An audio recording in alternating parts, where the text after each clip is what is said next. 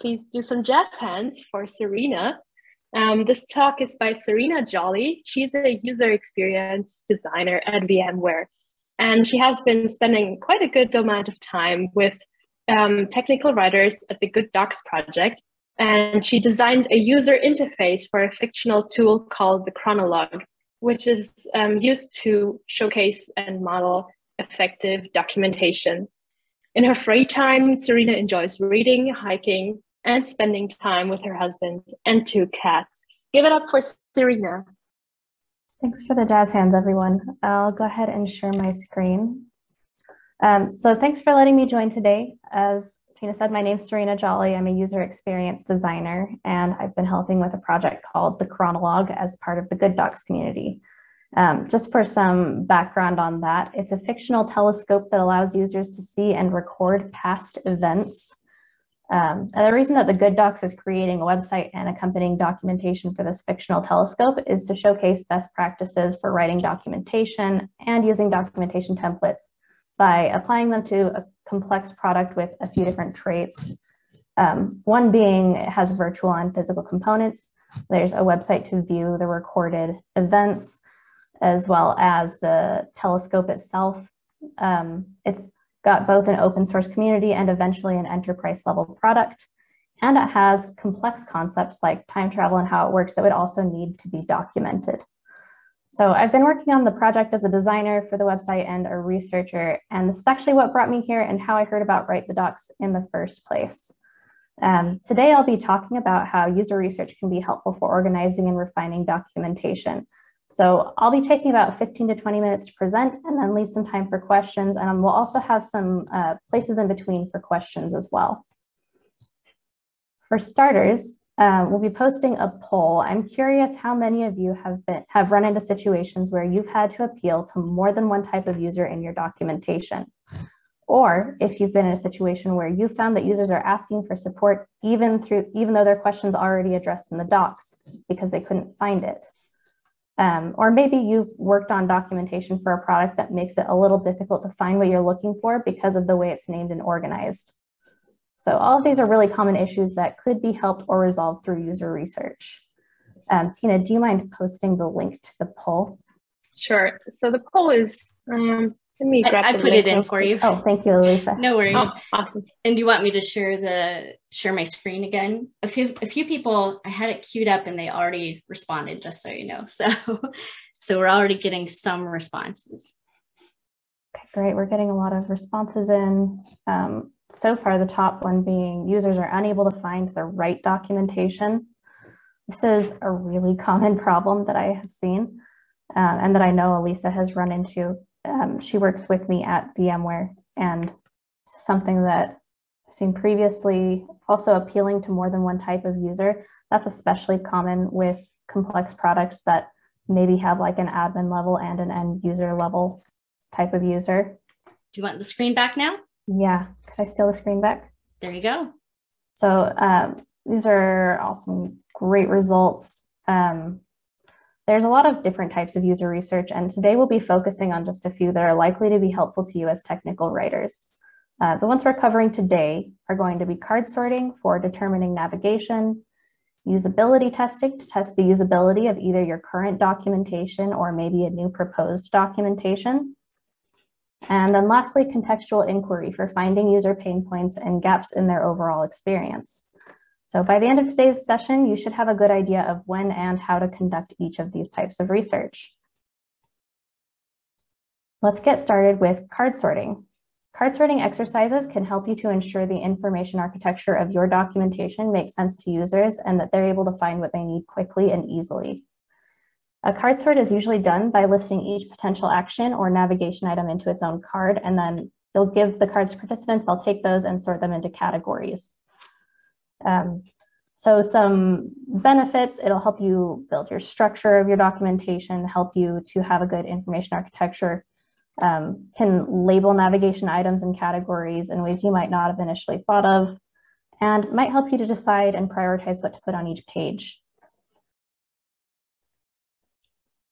So there's a couple different ways to run this sort of research. One way is to do an open card sort where participants can categorize the cards and name the categories themselves. And the other way is to use existing main navigation as the categories instead, and that's known as a closed card sort. The benefit of the open card sort approach is that labels are common among participants and could be more intuitive to users, and they might also be labels that you wouldn't have thought of yourself. The disadvantage here is that there's a possibility that there won't be common labels among participants. Another thing that you might see happen is that there's more categories than you thought there would be. So uh, maybe you initially had five main navigation items, but um, there's items that don't really fit into any of the five that you had. This would help you to uncover that. A card sort can be done on several different platforms. So if you're running the session virtually, there's several tools you can use like Miro, Trello, or even a Google Jamboard. If you're conducting this in person though, you can use actual cards. If you were conducting this on Miro, it might look something like this. You might have several blank categories and you can see these are all just generically named as category. And then you would have a card for each navigation item. Um, and these are just the sticky notes that are, are pretty common in Miro. I have a template actually linked at the end of this presentation for this. But basically, um, in this scenario, you'd give the link to the participant. They would drag these cards into different groupings that make the most sense to them, whether these categories are pre-named or not. Um, and then if you're doing an open card sort, they would rename the categories at the end. If you were using Trello, for example, you would have these different sort of columns that you name um, or leave it to them to name later. And then on the far left, you'd have an unsorted column where you start with all of your cards. And same sort of deal, participants will grab cards from this unsorted column and add them to each category. And then also an example of in person, you might use actual index cards or you might use sticky notes and just ask participants to sort them into groups and then tell you what they think each group should be. I also wanted to share a quick testimonial on using card sorting from our very own Alyssa Rock, who is leading this meeting. She says, my documentation team at SaltStack knew that the information architecture for our core product wasn't helpful for users. Uh, not only had we received multiple complaints about it, but our own internal evidence indicated that our documentation wasn't very discoverable. To solve this problem, we did a closed card sorting activity with several customer-facing sales engineers and professional services employees on Trello. By watching people sort our topics into logical categories and talk through the decision-making process with us, we were able to begin thinking more about how customers approached our documentation and how we could better organize it to meet their needs. This is something that um, can and has been done by other technical writers to um, just help make things more usable. Um, once you've finished card sorting with all participants, you'll want to synthesize your results and either create or adjust the navigation as needed. So um, here I've listed an example of like a spreadsheet where you can synthesize these results. And if you look here, um, the rows are actually going to be the navigation items or the individual cards, and then the columns are going to be named after the actual categories. So in this case, the numbers represent the number of participants who have sorted this particular card into this particular category. And you can see I'm using um, an example from our research for the Chronologue project. Um, so there were eight users that listed info about the Chronologue project under the About category. Okay, uh, just some things to keep in mind here. As you're running the session, be sure to take good notes, or if you're running it virtually, record the session to take those notes later. Um, another thing is to avoid leading participants to the right answer because there are not any right or wrong answers. For example, if you reacted poorly to a participant's grouping, they might feel that they've grouped things incorrectly, which is not the point. Um, uh, let's go ahead and pause here for a moment. You want to try and have around 10 to 15 participants for this one. Uh, lastly, I almost missed that one. Uh, let's pause for questions for just a minute about card sorting. Maybe in the meantime, you can, um, oh yeah, we have a first question. Um, so Serena, how time intensive is this process normally? That's a great question. I tried to schedule around 30 minutes for this, but when I ran this for the Chronologue, I found that it was 10 to 15 minutes every time, uh, pretty consistently. It is not very time intensive. Um, 30 minutes can help you, especially if you have a lot of cards and you want to go through a lot of discussion afterwards.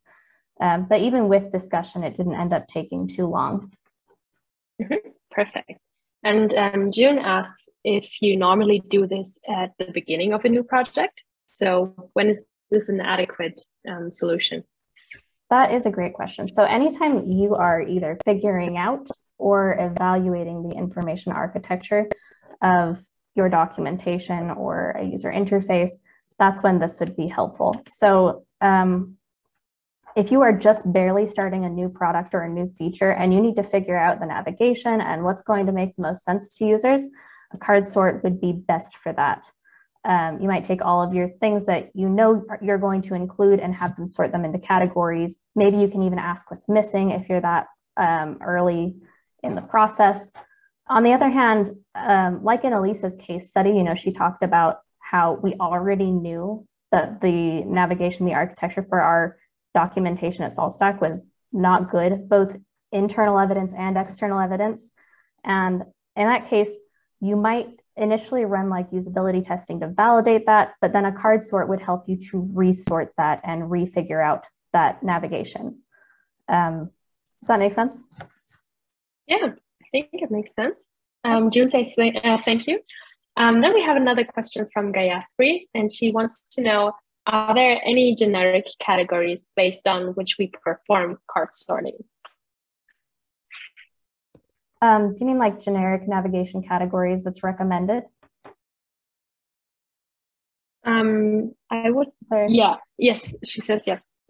There's not, and it really depends on the purpose of your um, site. If this is for documentation, obviously that's going to be geared towards how you have the documentation set up um, and what the subject matter is. If you have like a marketing site, you might have like an about us section you might have a home page you might have um, like a main area with specific actions.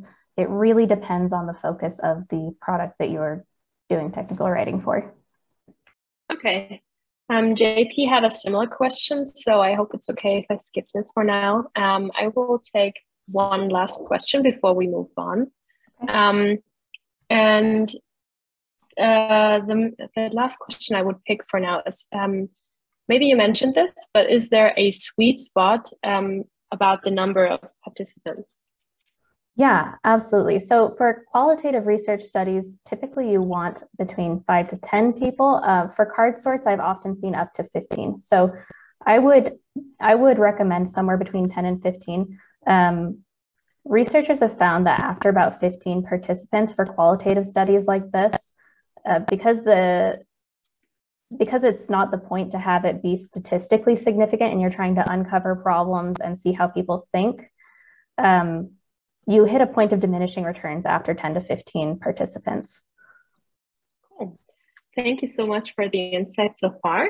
Um, so we will share two more um, resources for you two more ways of conducting user research so take it away serena okay thanks tina I'm on mute, sorry. The next research method I wanted to talk about is usability testing. Usability testing is done by having participants complete specific tasks to test how intuitive a user interface is, or in this case, your documentation. Um, typically, you'd want, as I mentioned, five to 10 participants, and this can be done either virtually or in person. Um, classically, you know, in original usability testing, you would have like a whole room set up with a one-way mirror and people taking notes and observing on the other side of the mirror. Um, but that's not really accessible and doable for the majority of us. Um, and you can actually get a lot of the same results doing things virtually or just one-on-one together. Uh, the benefit of usability testing for documentation is that you can see how easy or difficult it is to find and understand the most common documentation needs or test documentation for new features as you're creating a usability test plan, there's a few things that you'll need to keep in mind. Um, it's best if you can partner with someone so that some, one person's moderating while the other person takes notes. It can be helpful to give the tasks to participants both verbally and in writing so that they can refer back to that task if needed. Um, you should be writing your tasks based on the goal of your research. So if you wanted to make sure a specific piece of documentation is findable, what you might do is ask how they would go about looking for it and watch where they look first, what they try to click on, and how long it takes them. Um, to that point, you'll want to give a score for each task between zero and two. Zero meaning that they were not able to accomplish the task at all, or they had a really hard time. They, you know, clicked all around the page before they eventually found it. Um, one being they accomplished the task, task, but maybe it took a little bit, or they didn't immediately know how. Um, and two is for when they were able to accomplish the task with no problems at all. Just like with the card sorting, you want to avoid giving hints either verbally or in the tasks. And what this means is that you should also avoid having wording in your tasks that match your navigation um, or like your documentation title, for example. This is so that you know participants aren't just taking context clues from the tasks themselves. If you're trying to find out if they are um, able to find documentation on a specific subject, try to use more generic language instead of your specific documentation terminology unless it's a specific product term. Um, and, and that's so that you know they you're you're testing whether they can find something on that subject in their real life and not with someone giving them verbal hints. Um, aside from that, be sure to let participants know at the beginning that this is not a test of their ability to accomplish your tasks. It's a test of your documentation. Um, so along with this, Alyssa was also kind enough to share her experience with usability testing. She says, back when I taught college level technical writing, I assigned my students to conduct a usability test on the documentation they had written for a previous assignment. On the day the usability test was due, several students came in wide-eyed and amazed. They talked about how conducting the user test had been an incredibly eye-opening and valuable experience. Their perception of their documents had completely changed and they realized all the areas where they needed to improve. At the end of the semester, many students wrote about how this was the most important thing they had learned in the class and they intended to test everything, not just docs, for usability regularly. A big point about usability testing is that you are not the user. So um, to Alyssa's point here, um, usability testing helps ensure that not just you as the technical writer that lives and breathes the product, but the people that are using it every day are able to use it. Okay, lastly, just like with card sorting, you're going to want to compile your results. And here I have another um, spreadsheet, but in this one, you're going to have like several different pages, one for each participant. For each participant, you're going to give them their score. And remember, this score is based on how quickly and easily they were able to uh, accomplish the task from zero to two. And in the last sheet, you're going to compile it so you see every participant here at the top in the columns, the total at the end, and totals at the bottom. So you can see the total participant score. This might help you to weed out any outliers. If you had one participant that scored low in all areas, but everyone else scored high, that might tell you something different. But on the other hand, if you're looking at the totals for your tasks, you might look at, again, this is a chronologue um, version here, but we've got this task for how would you look for events from 200 to 500 years ago? it's 300. I think it's 300. It's covered. Um, and this one was a 12. So you can tell that this task was like exceptionally easy to find, while this one only scored a four. So we had what would you expect to see on the map versus the grid view, and almost nobody knew what that meant. And so we took some notes about it, um, almost every participant was confused by grid view and would expect it to say something like list view, and it was as simple as that. Okay, let's take some questions about usability testing. Yeah, I'm curious what people want to know about that because it's a huge field. Like I see Swapnil made another uh, comment about the card sorting. So yeah, um, but let's focus on usability testing for now. I liked one remark um, that she said about how important it is to not guide the user, because I think for me it was the hardest. Um, so Karen has a question, and he wanted to know about um, your thoughts on the return on investment. So, how much value do you get versus how much effort you have to put in? Yeah, that's a great question. So, the return on investment for usability testing can actually be surprisingly high. If you look at, I meant to include a slide about companies that did not test their products and did not do enough research. and failed and spent millions and millions of dollars doing the wrong thing, it can be very costly to not do enough research. In terms of documentation, you might quantify that based on like a support representative's hours. So if a support representative spends maybe two hours a week, and every support representative spends two hours a week answering the same question in support tickets that is easily findable in the documentation, um, then that's pretty easily quantifiable. You might take like the support representative's pay uh, times that by the number of support representatives that are running into this and by the amount of time. Um, and that would tell you exactly how much it's costing you to have not solved that problem. Does that help answer your question? Let's see. Oh, I really like your answer. Yeah, he, uh, he also agrees. um, I have another question about the usability testing from Christopher.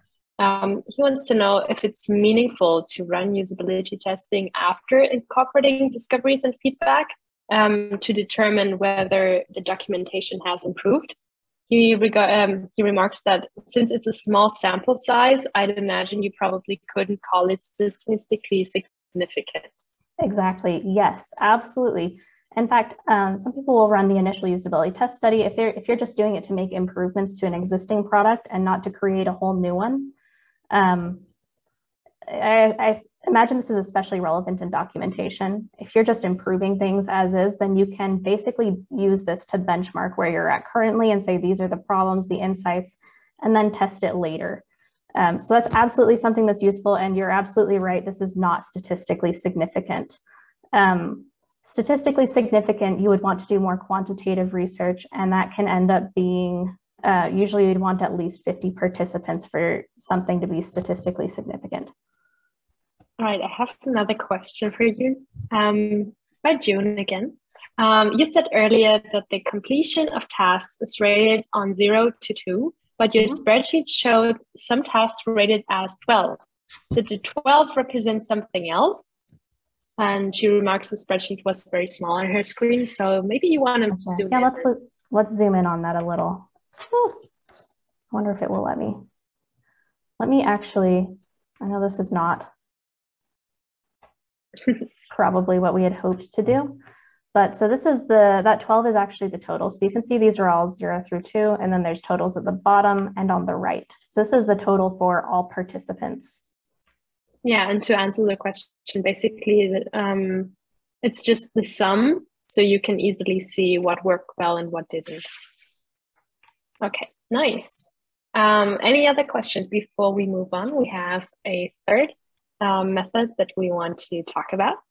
Um, okay, I don't see anything right now in the chat, but uh, feel free to write questions throughout. We will have a more general Q&A at the end. So if mm-hmm. anything comes up, we can still cover it then.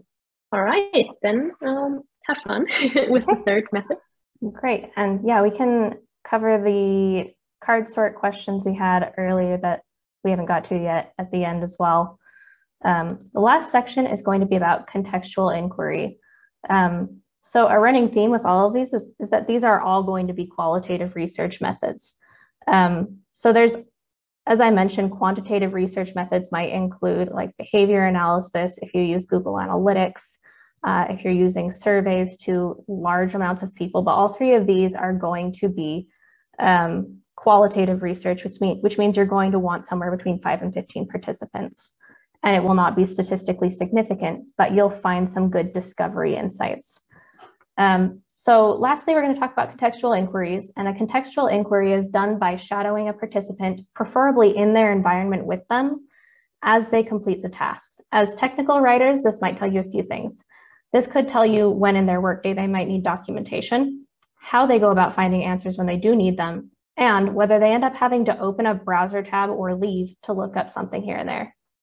So the advantages here are that you can see users in their environment, whether that's at work, at home, and when or how they normally interact with your documentation.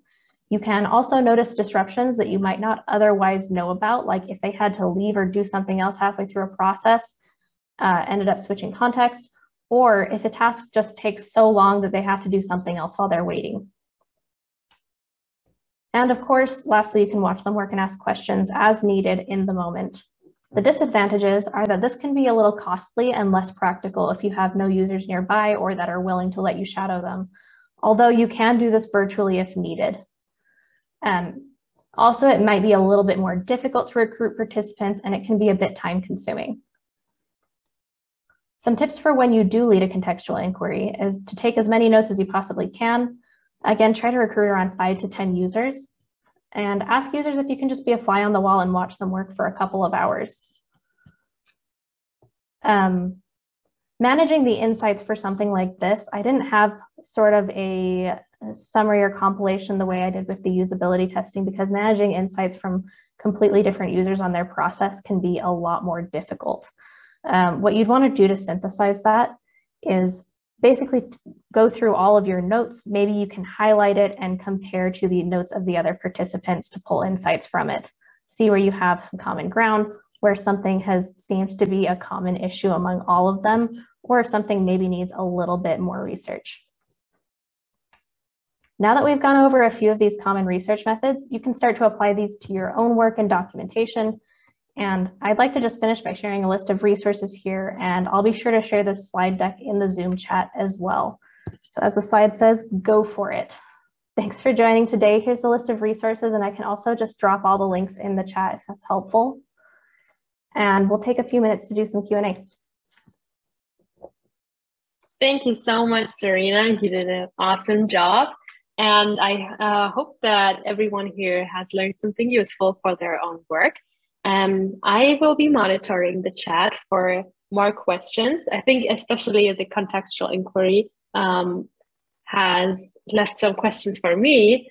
Um, but I don't want to like take up the stage for now. Let's um, see what our wonderful community wants to know.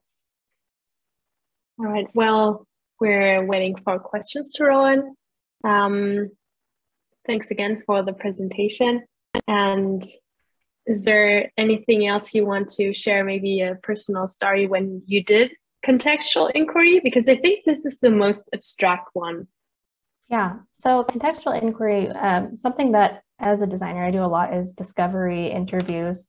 I might ask someone to show me their process, um, especially if you're trying to start fresh with a new feature or a new product. You might say, hey, I'd really like to see what this process looks for you right now. So um, a way this could work for documentation specialists is you could say, I want to know how you would solve this problem in the moment. Maybe you're watching them work and they say, oh man, I don't remember that module. I'm gonna have to look it up. So you say, okay, uh, could you please talk out loud, like think out loud and, and do that while I watch? And they'll show you mm -hmm. exactly what their process is like. I've uncovered issues with just usability this way too, where someone, it turned out, had to open up documentation and then another set of documentation, and then also just Google resources and copy and paste and also test it. And there were like five more steps than I thought there were that I would not have known about. Oh, yeah.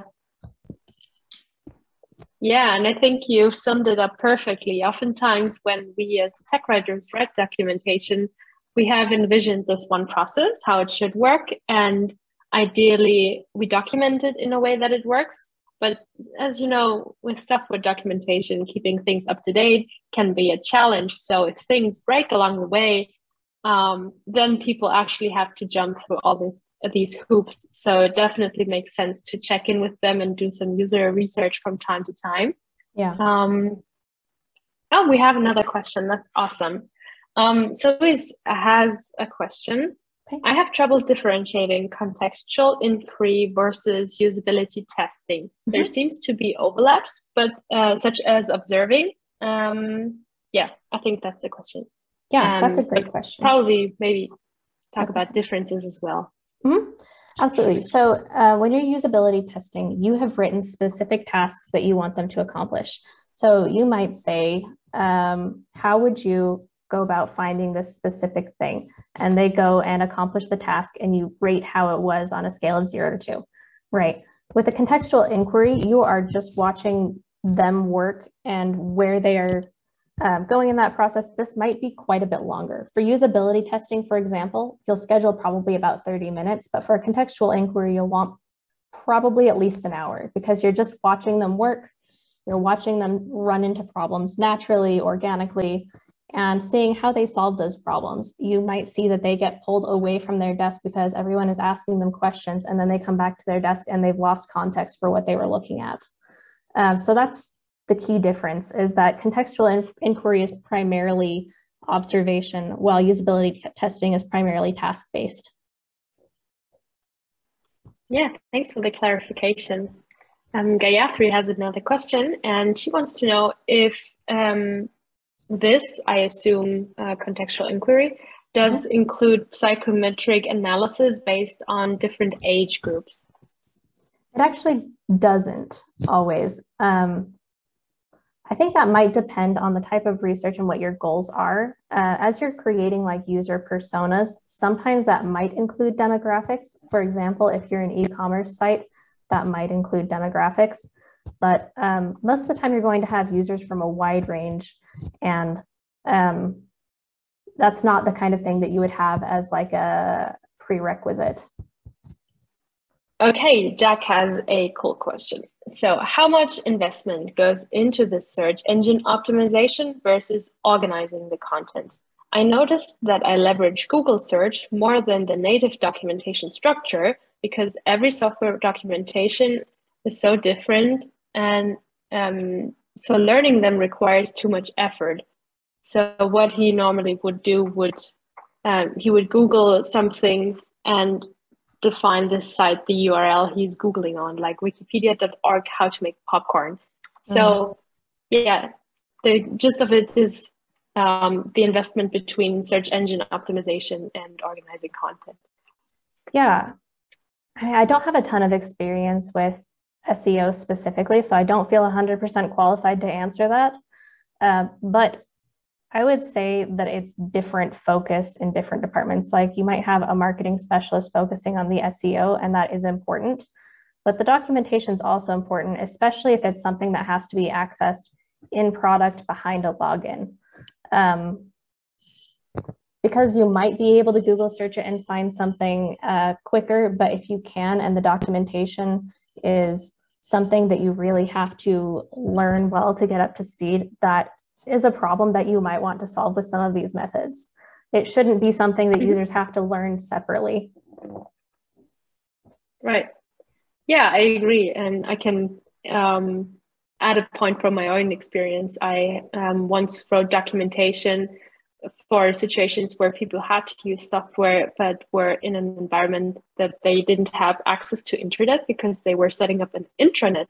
So in these type of scenarios you need to have documentation ready and also in a very findable and structured manner.